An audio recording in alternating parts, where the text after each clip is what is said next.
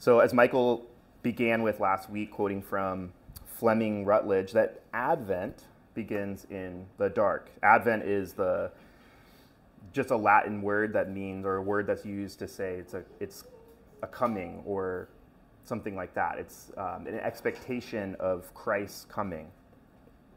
So Advent begins in the dark. So it's the notion that to really understand darkness, one must be really aware of that darkness around. One must be aware of darkness within. Isaiah, the Old Testament prophet, says in chapter 9 that the people who walked in darkness have seen a great light. Those who dwell in a land of deep, of deep darkness, on them light has shone. And from this light is born a child, Isaiah says, a son. And the government shall be upon his shoulders, and his name shall be called Wonderful Counselor, Mighty God, Everlasting Father, Prince of Peace. Of the increase of his government and of peace there will be no end. And on the throne of David and over his kingdom, to establish it and to uphold it with justice and with righteousness. From this time forth and forevermore, the zeal of the Lord of hosts will do this. So Isaiah wrote and prophesied this before Israel. So Israel at the time is the northern kingdom, and Judah, the southern kingdom. He, he prophesied this before they would fall to the Assyrians and Babylonians, before they would go into exile. This is what Isaiah 8 says They will pass through the land greatly distressed and hungry. And when they are hungry, they will be enraged and will speak con- contemptuously against their king and, and their God, and turn their faces upward and they will look to the earth, but behold, distress and darkness, the gloom of anguish, and they will be thrust into thick darkness. But there will be no gloom for her who was in anguish. In the former time, he brought into contempt the land of Zebulun and the land of Naphtali. But in the latter t- time, he has made glorious the way of the sea, the land beyond the Jordan, Galilee of the nations. So, despite the impending judgment and death, there's hope. There's a hope for the people of God. Right, 700 years after Isaiah's prophecy, a group of shepherds received this good news. They received this gospel that a Savior has been born. To which the shepherds replied, Glory to God in the highest, and on earth peace among those whom he is pleased. So you see, out of the darkness shines forth hope. Not arbitrary hope, but hope found in the peaceful reign of Christ. So we'll look at two big things hope and then peace. So, first, hope. Hope at a very basic level is something that we want, something that we want to happen, right? I hope I get that present for Christmas. I hope I get that promotion. I hope I get that apartment. I hope I get that job. I hope I get married and have kids one day. I hope that person goes out with me on a date. I hope my team wins. I'm hopeful that this coming year will be fruitful. Right? You can't be sure of it, but that doesn't detract from your longing, right? You, here's what the Apostle Paul writes about hope. Romans 8, he says, Now hope that is seen is not hope. For who hopes for what he sees? But if we hope for what we do not see, we wait for it with patience.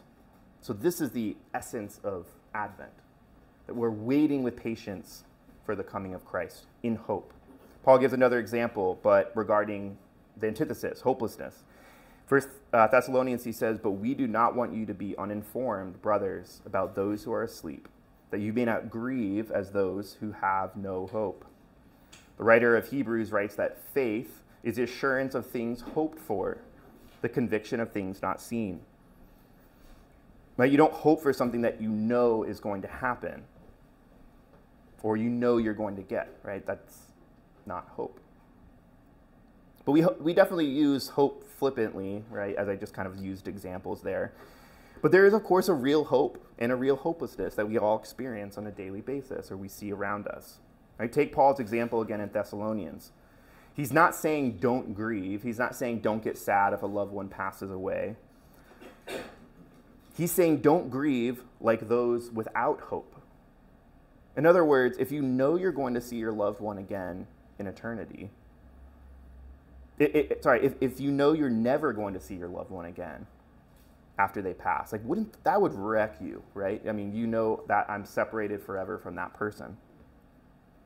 And I think um, a modern kind of day example of this type of hopelessness that I see, at least, is um, is in the kind of environmental movement. And I'm all for supporting the environment, so we'll just say that first. But there's there's a you've heard the saying like no planet B, right? This this is our only planet. There's no planet after this. So if this one melts, then we're we're done. There's just there's a sense of despair and, and gloom that that if the world takes its course, if you know the environment continues the way it does, that we're all we're all done. Like there's there's nothing beyond that. And this is this is our only chance to make sure that the world isn't destroyed in 50 years because of global warming. Like that is that is hopeless. I mean, that is a, a type of despair that um, would would would wreck you. I mean, it, it, it totally torments people. But what if there, but what if there is another Earth after, right? Like, what if this Earth that we have isn't the only thing? How would that change your response? How would that change the way that you live, despite the fact that maybe it, it seems like the world is going away, right? So you, you hope is is the longing that there's something better. And there's, and there's a lot of things that we can hope for. I think uh, peace is certainly one of those things. So, into our second point. Peace, a biblical word for peace, you've probably heard this shalom. And um, there are many expressions of it, right? We have um, the peace sign, there's the hippie movement in the 60s. Maybe you think of peace that way, um, or various Christmas decorations that tend to be put around. Or sometimes there's bumper stickers that are like, you know, peace, love, and the, there's a, you know, peace, love, and enter restaurant, whatever it is. Um, and we even as a church, of course, just did this. We just extended the peace of Christ with each other, right? With the through a handshake, through a hug, that sort of thing. And maybe it's like good vibes. Maybe that's what you think of peace as. Yeah, we just need to have peace, you know, just good vibes, everyone. But I think all of us at least view peace as the absence of war or as the absence of fighting or the absence of contention. At the very least, I think we all think of peace that way. In 1939, at the height of the Nazi regime and on the verge of the Second World War, the first World Trade Center was created, if you didn't know that. At the time, it was just a small pavilion at the World's Fair over in Flushing. And the idea came about by a group of businessmen and traders with the idea to promote world peace through world trade. The World Trade Center, as we know, was eventually moved to Lower Manhattan. That small pavilion became the world renowned Twin Towers, designed by Minoru Yamasaki.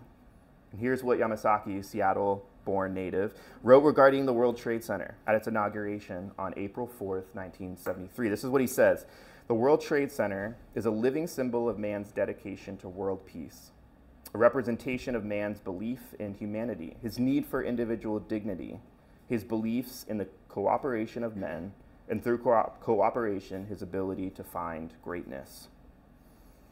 So, for the next 21 years, the Twin Towers would represent world peace through world trade, even despite the 1993 bombing. But on September 11, 2001, as we know, all hope seemed lost. The once glorious symbols of world peace through world trade would be reduced to ashes. Gloom, darkness, and the stench of death would be fill, would fill this once bustling streets. Right? And then the United States was then plunged into another war. Was world trade the answer? Is there hope? Was there hope for a peaceful world? Is there hope for a peaceful life? His, history tells us that the US is not the only world superpower to be attacked. Pax Romana, the Latin phrase meaning Roman peace, characterized much of Rome's um, history. Their, their, their, it, it was the relative peace that they had in the empire. And they were able to secure this for hundreds of years, yet even that came to an end. There's not a single nation on earth that has experienced total peace. Attack is always imminent that may be from outside or from within. Despite the fact that the United States even is as powerful, secure, and wealthy as it is, it has still allowed for attack and threat against certain peoples who throughout American history have felt no peace at all, even in their own homeland. Even though Pax Romana was in effect, even for the time of Jesus' birth, Jews were still under Roman military and economic rule. They didn't have the total peace that they expected. But biblical peace is not just the absence of war, it's far more comprehensive. It affects all of life. It's the notion of wholeness, completeness. And that's literally what that word shalom means. It's, it's the idea of completeness, to bring something, to make something whole.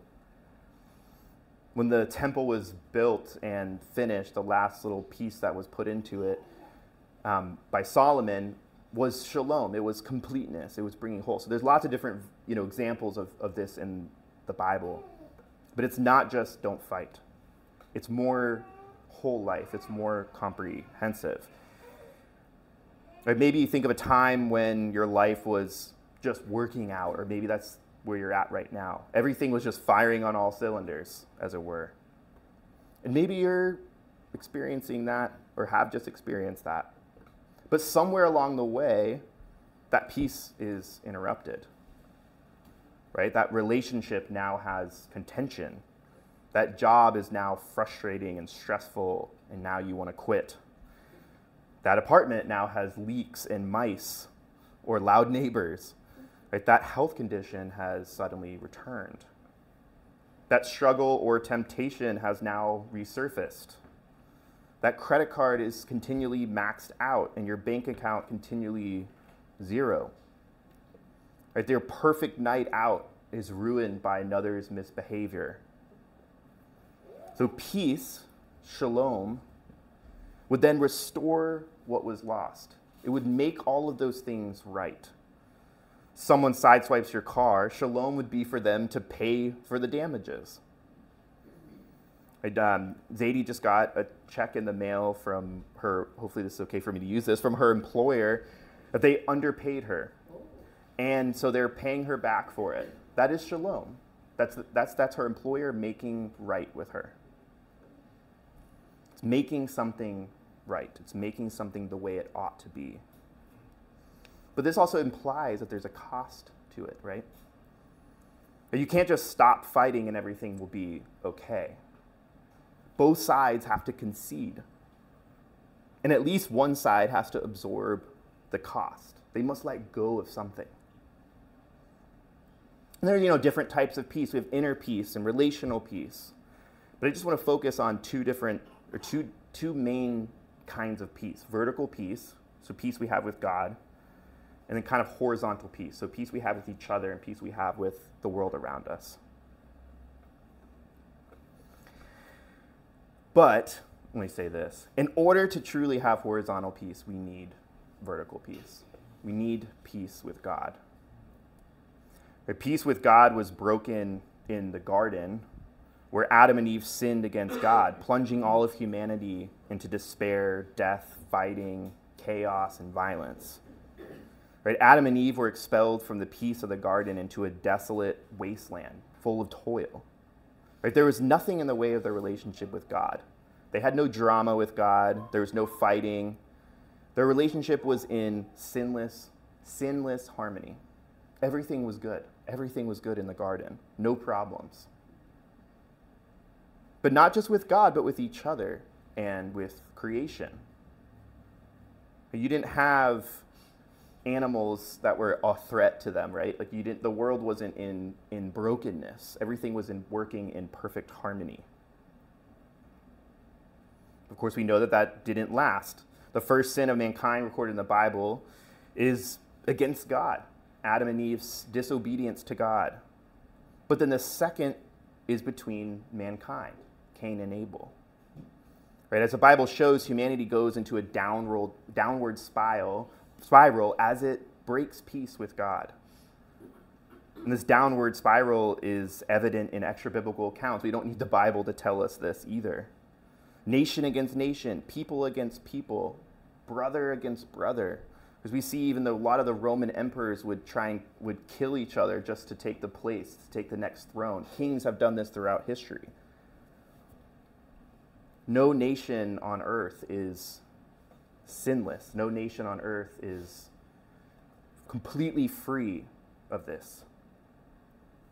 But God promised to rectify this broken peace, to bring shalom, as it were. He promises through Abraham, right, that through Abraham's children, all of the nations of the earth shall be blessed, is what Genesis says.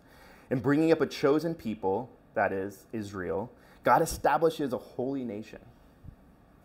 If Israel was obedient to God, they would have peace, they would have shalom. But if they disobeyed, they would experience a loss of that peace. Right? And Israel saw glimpses of this peace we see in the Old Testament. Yet Israel's disobedience to God ultimately forced them into exile. Isaiah's prophecy that I read at the beginning, it preceded that exile. And this proves that Israel couldn't on their own maintain peace. Israel on their own couldn't be perfectly obedient to what God was asking of this nation. Instead, Isaiah points our vision towards another peacemaker. After the exile, the prophet Zechariah wrote this. So, Zechariah is a minor prophet who comes at the return of the people back to the Holy Land. He writes this Rejoice, O people of Zion. Shout in triumph, O people of Jerusalem. Look, your king is coming to you. He is righteous and victorious, yet he is humble, riding on a donkey, riding on a donkey's colt. I will remove the battle chariots from Israel and the war horse from Jerusalem. I will destroy all the weapons used in battle, and your king will bring peace to the nations. His realm will stretch from sea to sea, and from the Euphrates River to the ends of the earth. Because of the covenant I made with you, sealed with blood, I will, I will free your prisoners from death in a waterless dungeon. Come back to the place of safety, all you prisoners who still have hope. And we see this promised Messiah in Jesus, right? The Savior of the world. At his first coming, Christ brings peace by reconciling us first to God. Colossians 1 For in him all the fullness of God was pleased to dwell, and through him to reconcile to himself all things, whether on earth or in heaven, making peace by the blood of his cross. Romans 5 1 Therefore, we have been justified through faith. We read this earlier, and we have peace with God through our Lord Jesus Christ. Right, however, at the time of Jesus' birth, Jews expected a king who would bring peace by military and political forces.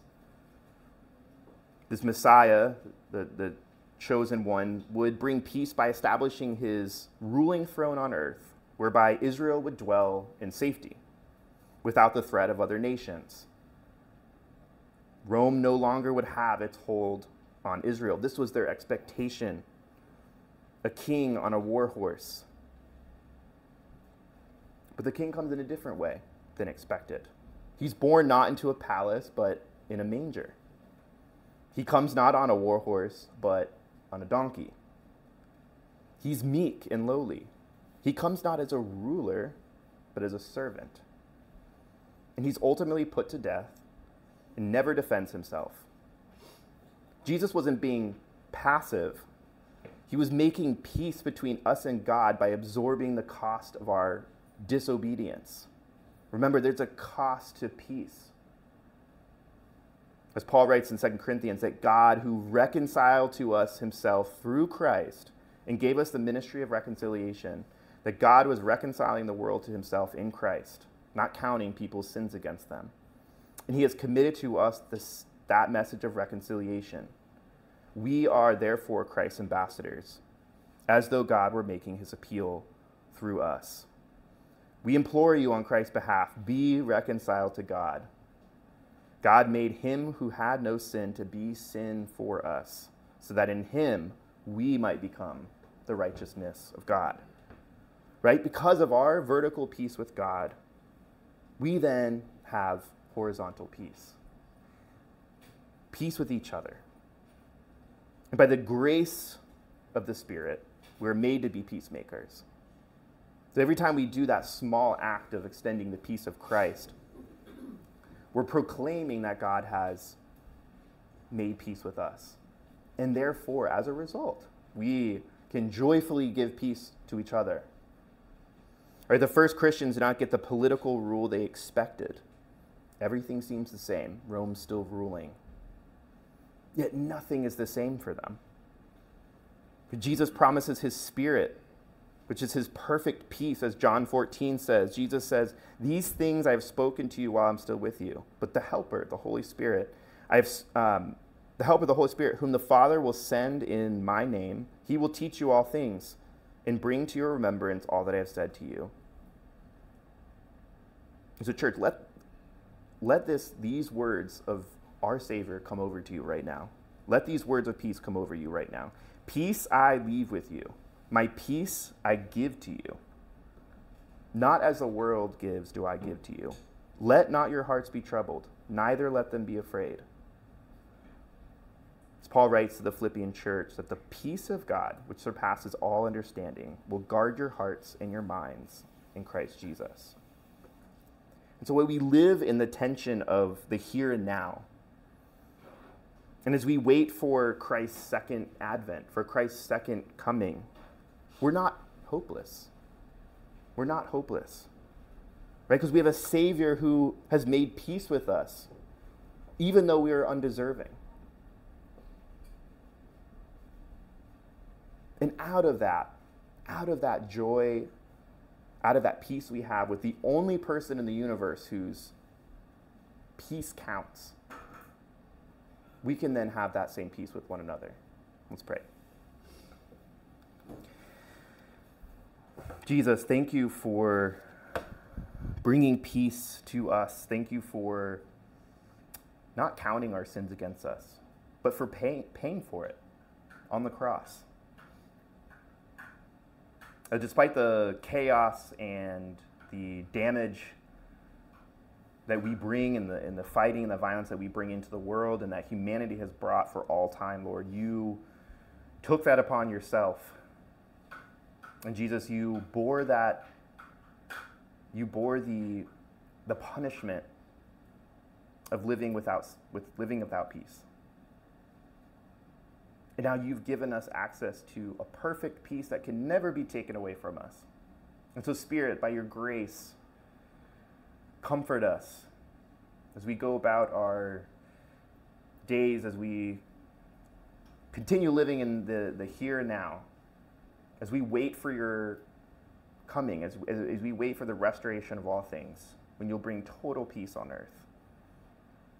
Give us grace to wait and Lord, help us also to be a people that extends this peace to one another for those in this city, Lord. It's a busy time, and a lot of people are in a hurry and are impatient. Help us to be gracious. Help us to be patient.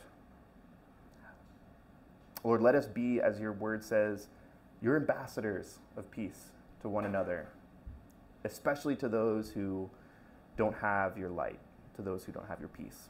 In Jesus' name we pray.